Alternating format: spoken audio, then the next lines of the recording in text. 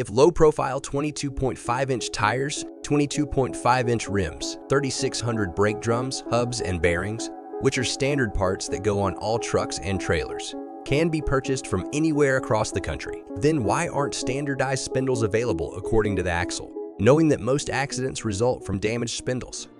That's why we are introducing our spindles to establish a standard so that all truck fleets, mechanics, mobile repair service providers, tow truck companies, and truck repair shops across the country can perform a standardized repair to replace the spindles for trucks and trailers.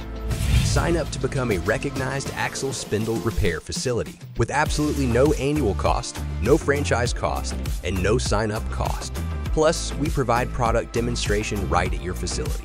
Just five days after our product demonstration, gain exclusive access to our top-notch spindles, so contact us on the provided numbers or visit our website axlespindle.com.